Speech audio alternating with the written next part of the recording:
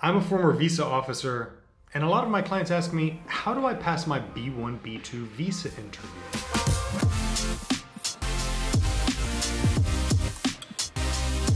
Today I'm going to talk to you specifically about the B1, B2 visa and why it might be different than some other visa classes that you may have applied for or that other people that you've heard of applying have told you about. The B1, B2 visa is a business or pleasure visa. It basically means going to the US for a, a wide variety of purposes, including tourism, uh, medical care, uh, business trips, conventions, uh, attending your cousin's wedding. It can be for any of these reasons.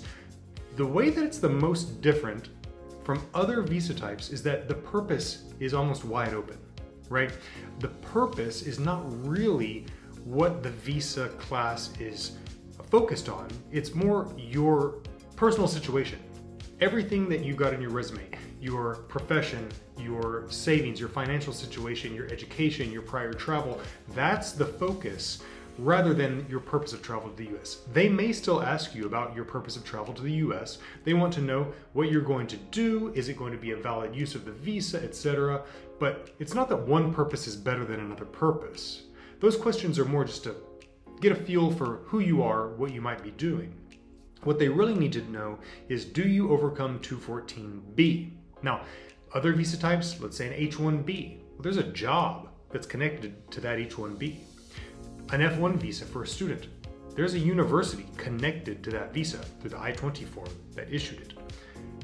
You're going in with the B1, B2 visa application though, completely on your own. You're the only person that's involved in submitting that.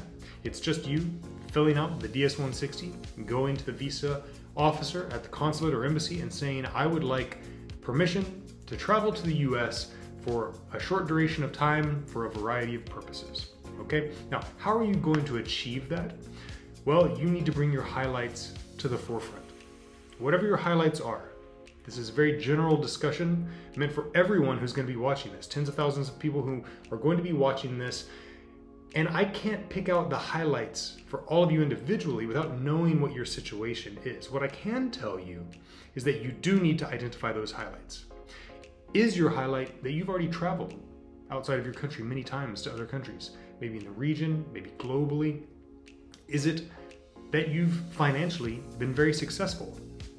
That you've uh, that you've been successful in your job, in your career, you have a very prestigious position in your in your company where you work. Perhaps it's that your family is wealthy, even though you aren't really uh, doing anything to earn an income right now, but your family is well off uh, and middle class, and so there's no reason for you to not come back to your country. Maybe it's your education, right?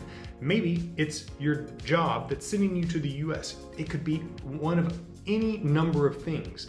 You need to know what is it about your situation that makes you a person who's going to go to the US and in the mind of the visa officer, they're confident that after that trip to the US, you will be going back to your home country and not staying in the US.